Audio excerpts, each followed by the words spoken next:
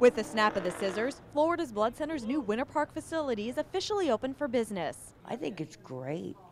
You know, the other building was good too, but it had a little bit of wear and tear to it. But this is really very nice. Florida's Blood Centers has been a part of the Winter Park community for more than four decades, taking up several locations during the past 40 years. I have donated in Rome, I think there were four different places before here.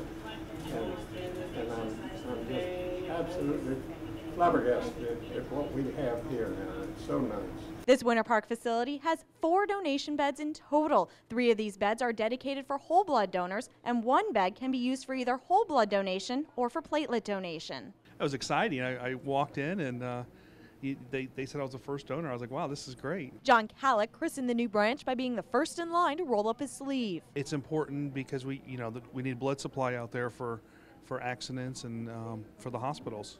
Plus, it's good for the Winter Park community. I just think it's the highest gift to know that uh, citizens uh, are giving of themselves, first their time, but then of their of themselves, literally their own blood, that others might live.